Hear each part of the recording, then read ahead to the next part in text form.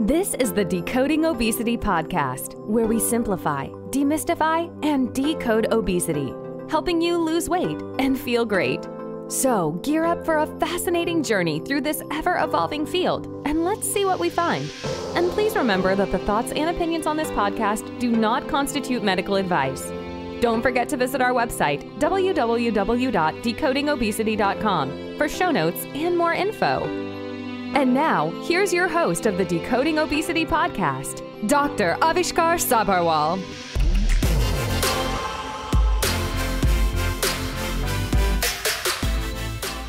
Hello, and welcome to another episode of the Decoding Obesity podcast. Listeners, I have created an amazing cheat sheet to help you get started and reach your target of 10,000 steps per day seamlessly.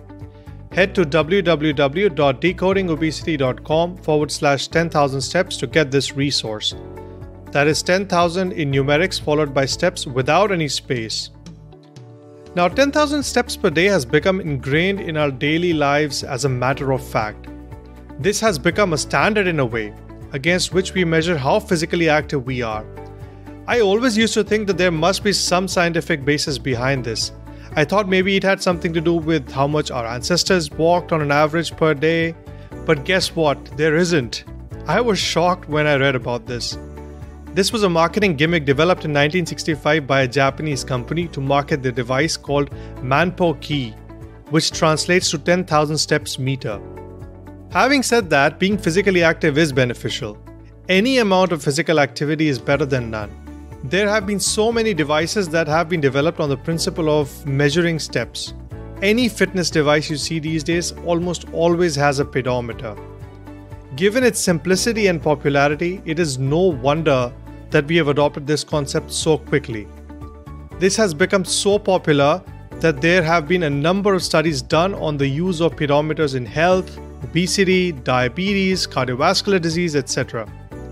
There was an interesting systematic review and meta analysis looking at the effect of step counting on the changes in physical activity. Meta analysis, speaking simplistically, is when the researchers club the data from several studies together so they can try and better assess if there is a pattern that they are able to observe. So, in this meta analysis, what they found was that counting steps leads to both short term and long term increases in physical activity. The other thing that they noticed was it does not matter if you use a very cheap pedometer or a very expensive device.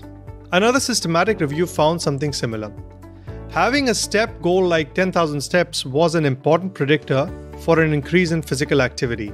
This highlights the fact that having a target to achieve makes it so much easier. The researchers also found that increased number of steps was associated with significant decrease in body mass index and blood pressure. A study from Australia looked at whether increasing the number of steps would have any effect on hospitalization, and they found that indeed it does. Regardless of age, sex, number of medications, smoking, or alcohol. For the primary care physicians listening to my episode, I want to point out two important studies from the UK called PACE UP and PACE LIFT. Both of them looked at the use of pedometers in an outpatient setting, and what they found was despite a short intervention period, sustained increases in physical activity were seen at 3 years and 4 years respectively for these studies. These studies also showed significantly fewer new cardiovascular events and fractures in the intervention participants at 4 years. Of course, the picture is not all rosy. There have also been studies that show no change in step counting, goal setting, or physical activity with the use of pedometers. The problem with devices used is also the accuracy. They're all fraught with inaccuracies and either overestimate or underestimate the number of steps taken. This usually worsens when you are running. Also, a goal of 10,000 steps per day may not be sustainable for some groups, including older adults and those living with chronic diseases, and 10,000 steps per day may be too low a goal for children. There is also a problem of how quickly or how slowly these steps are taken, because that, of course, changes with the intensity of exercise. The current recommendations for physical activity are at least 150 minutes per week of moderate intensity physical activity. In terms of walking, this translates to a cadence of about 100 steps per minute. The NHANES data from 2005 to 2006 showed that US adults spend just about 5 minutes at 100 to 119 steps per minute a day and just about 2 minutes at 120 plus steps per minute each day. You see, the whole idea behind 10,000 steps was to increase physical activity.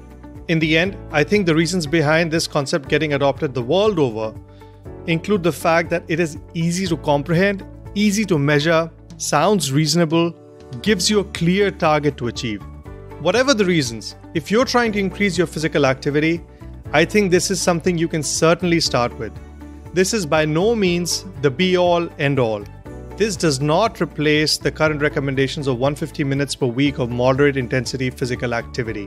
What it does is reduce the barrier of entry to the world of physical activity. Physical activity, regardless of whether it is exercise or not, is beneficial. Just like any goal, start small and build upon it. However, 10,000 steps should not be the final destination in your journey to health, but your first few steps. To help you get started and reach your target seamlessly, I've created a cheat sheet that you can download by heading to www.decodingobesity.com forward slash 10,000 steps. That's 10,000 in numerics followed by steps without any space in between. So www.decodingobesity.com forward slash 10,000 steps. So, how many steps are you going to take today? You've been listening to the Decoding Obesity podcast. Please remember, the information in this podcast should not be used in any legal capacity whatsoever. The thoughts and opinions expressed on this podcast are solely of the host and his guests and do not constitute medical advice. Views and opinions on this show do not necessarily represent the views and opinions of any organization. And that brings us to the end of the show. Thank you so much for listening in. Don't forget to visit our website, www.decodingobesity.com, for show notes and more info. And if you've enjoyed this episode, please feel free to rate, review, and subscribe on your preferred podcast listening platform. We really appreciate that effort. Until next time.